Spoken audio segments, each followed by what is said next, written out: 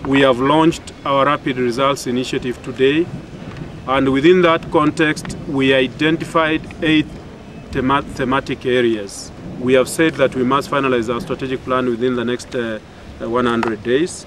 The environmental protection and sanitation, which will also involve waste management for Kisii Town, which is in a sorry state. Issues of public health and issues of ensuring that we have a cemetery in Kisii Town, which we don't have right now. I'm going to hold them completely accountable for the whole area of uh, evaluation, the whole area of quality control,